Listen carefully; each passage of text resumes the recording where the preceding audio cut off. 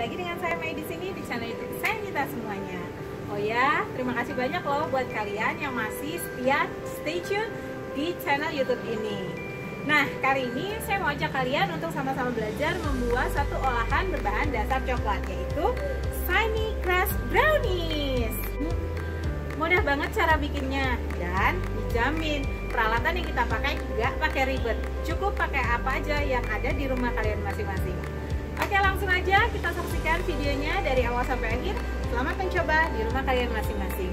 Oke.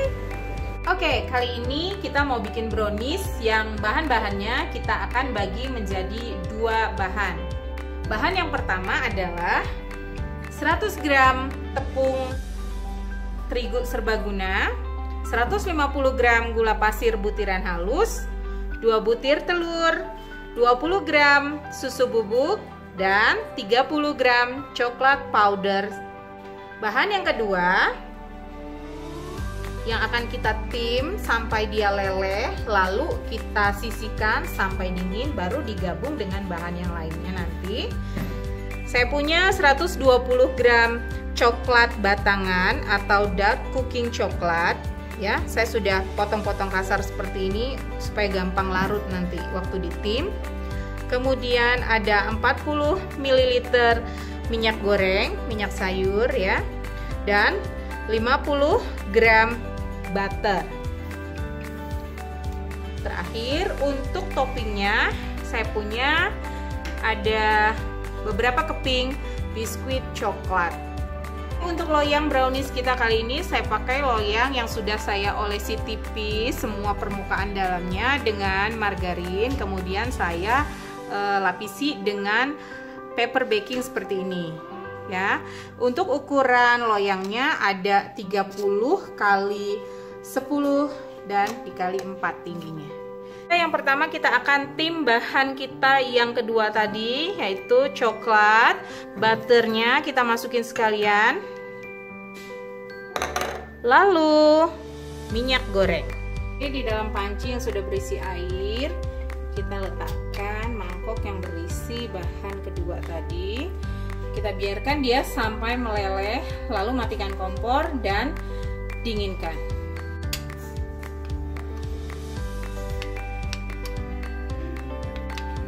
Nah ini hampir semua coklatnya sudah leleh hanya sebagian kecil aja. Nah sudah habis semuanya sudah meleleh coklatnya, butternya sudah menyatu dengan baik dengan minyaknya. Oke, kita matikan apinya. Kita akan mengaduk gula dan telurnya.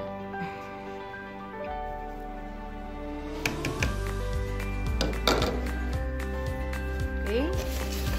Kalau teman-teman mau pakai mixer boleh tapi di sini saya memilih buat pakai whisk saja ya oke sudah cukup seperti ini. Langsung aja kita masukin coklatnya. Ini lelehan coklat tadi dengan butter minyak sudah dingin. Kita akan langsung masukkan ke dalam uh, adonan telur gulanya ya. Diaduk dulu supaya tidak mengendap yang bawah. Langsung kita tuang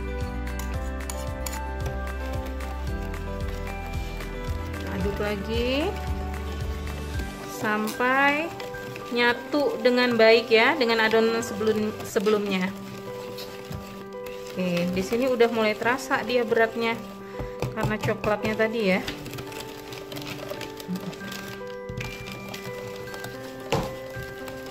Oke, sudah cukup. Susunya langsung aja kita gabung dengan tepung terigu tadi. Lalu coklat powdernya sekalian aduk. Oke, sudah. Kalau sudah tercampur rata begini, dengan bantuan saringan kita akan masukkan ke dalam adonan coklatnya. Lalu sedikit demi sedikit saring supaya nggak ada yang menggumpal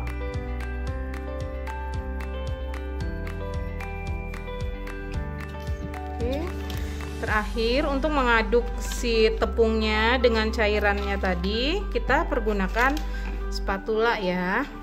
Kita lakukan aduk lipat. Aduk, balik, lipat. Aduk, balik, lipat.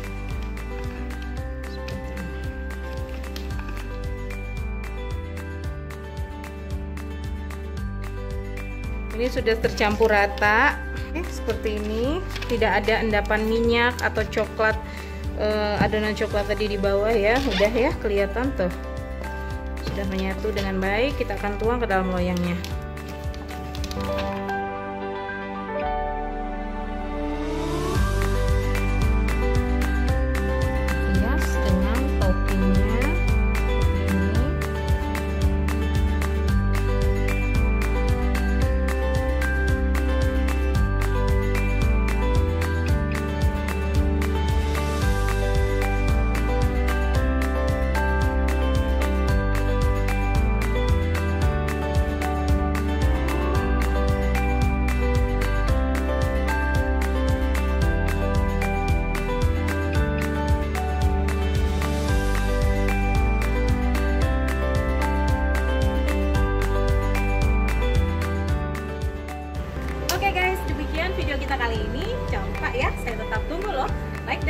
kalian di channel YouTube saya. Terima kasih, sampai jumpa lagi di video-video kita selanjutnya. Bye.